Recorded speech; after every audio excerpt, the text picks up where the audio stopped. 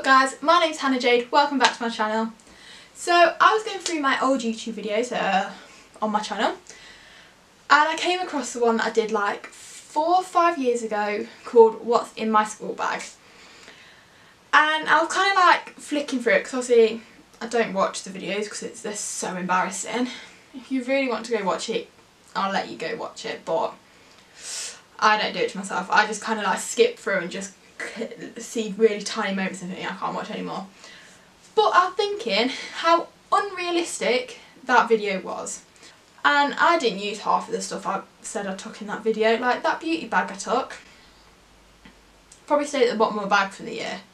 So me and my friends were talking um, a couple of weeks ago about sixth form, what we used to do in our free periods a lot.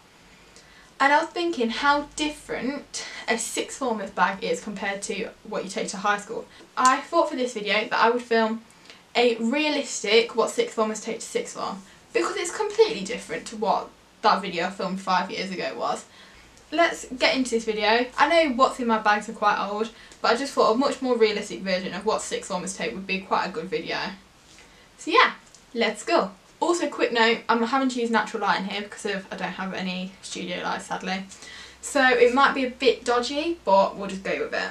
So, first thing obviously I used to have in sixth form was my phone. Obviously I used to have my phone, iPhone 8 Plus.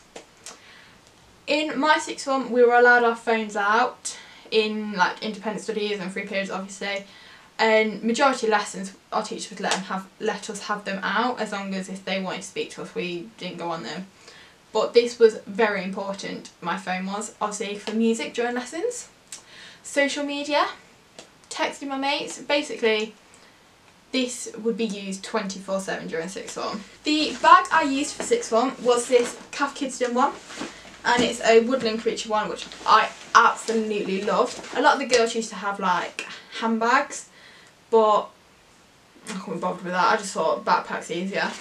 So the first and most important thing I used to take other than my phone, I'm put my bag down here, was this. So I used to take my laptop, my MacBook, and in year 12 I used to take it like very rarely. Year 13 however I used to take this every single day. A lot of my work I used to have to do on lap on my laptop so like I used to have to write drama essays on it. I used to do a lot of health and social work on my laptop because it was coursework. My photography was obviously a lot of editing, which would al always be on this. But other reasons to take a laptop, online shopping. If you get bored in a free, do some online shopping. Netflix. The amount of times I'd watch Netflix, if for some reason I was in a free on my own, my friends weren't there, I didn't have any, well, I always had work to do, but if for some reason I didn't want to do the work, Netflix on this was a beauty. So I probably shouldn't say this out loud, but that's some of the reasons I used to take this with me. Phone charger, obviously.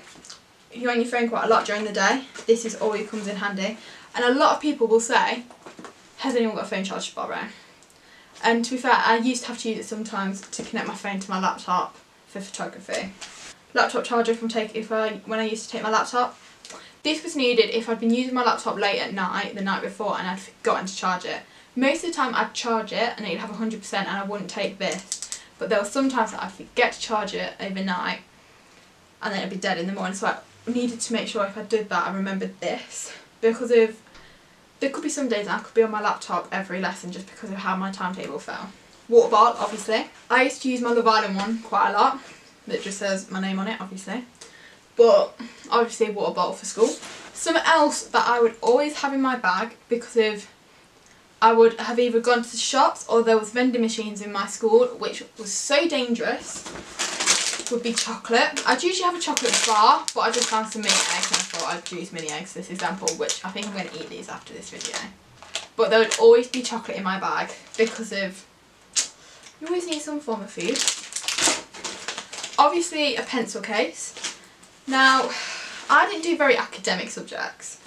So I used to have, this is my this was my pencil case, some highlighters which never got used because like I said I didn't do academic subjects so I didn't do, didn't have to write pages and pages of information highlighting important stuff. Ruler and pencils. These came in handy for my portfolios for photography. I then have like a couple of black pens And because my portfolios were black and black pages and I used to have to do a lot of writing, I would then have a stupid amount of white pens in my pencil case. That was, so in this pencil case, it's this full and it's just full of white pens because the amount I would go through for my photography. I counted them once I finished school and I had something like 20 white pens in here. That's ridiculous. How much money have I spent on white pens, hairbrush and body spray? These came in handy quite a lot, especially once I started to drive to school. If I woke up late and didn't have time to get ready really. Obviously I'd usually put body spray on at home and obviously I'd brush my hair at home.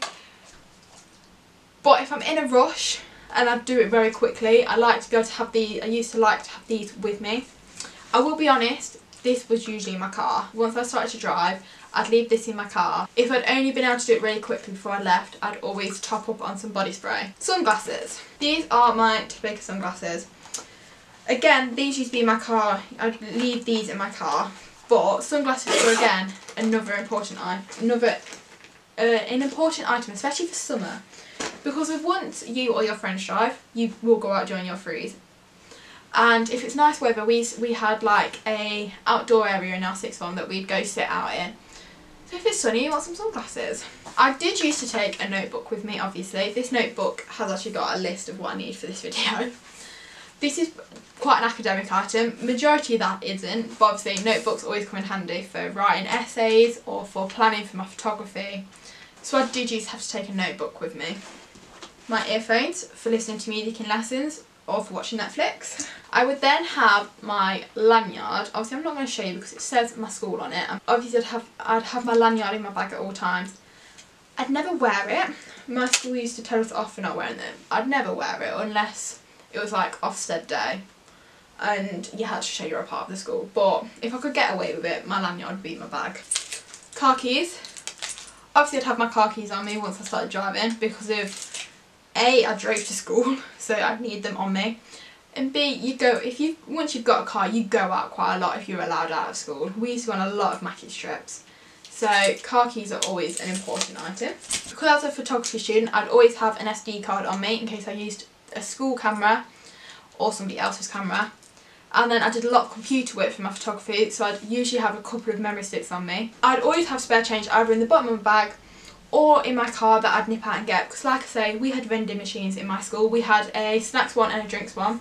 The snacks one was obviously money. The drinks one however which was lethal for me was contactless. You could pay with money but you, you could pay with cash but you, it was contactless.